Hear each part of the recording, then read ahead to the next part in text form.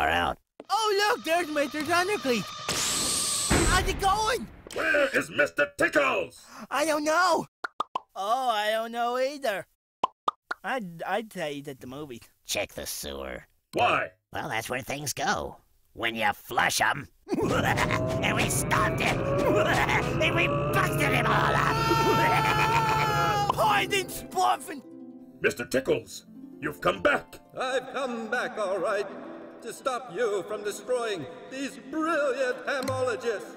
I do not understand. Have you ever tried one of their ham omelets? They're to die for. Die!